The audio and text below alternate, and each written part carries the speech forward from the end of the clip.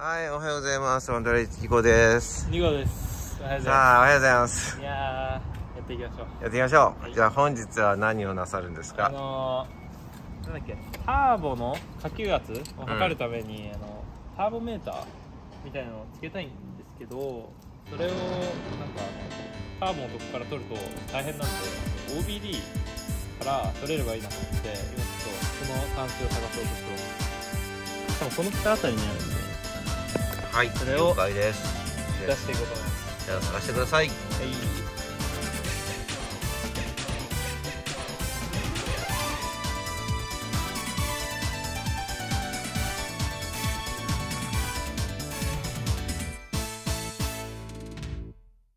い。よいしょこの中のよいしょオーディオの下あたりのこれですねこれによいしょ。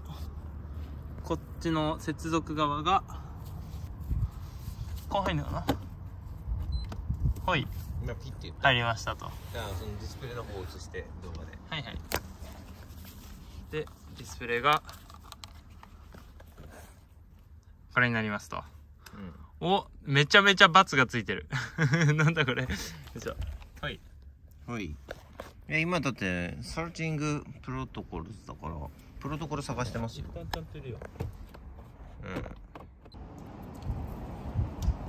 ん。ちょっとリアカメラを交換して取り付けてます。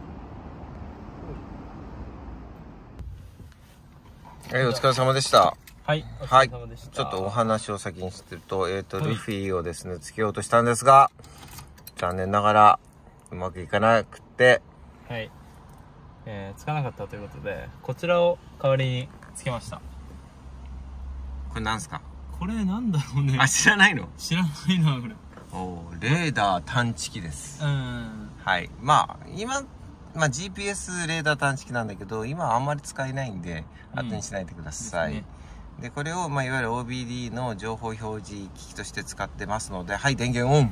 はい。この辺のそうそうそうそう。ああ来た来た来たた押せんだよなこれな。はい。来ましたと。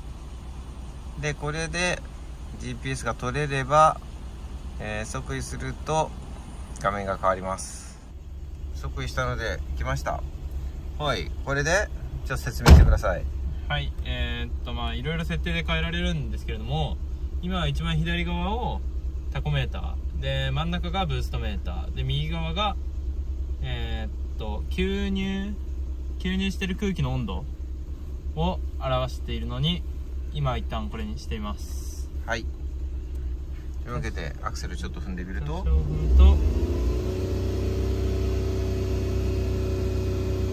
ですね。はい。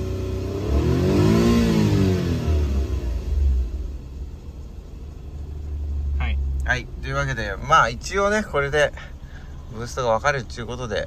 うん。はい。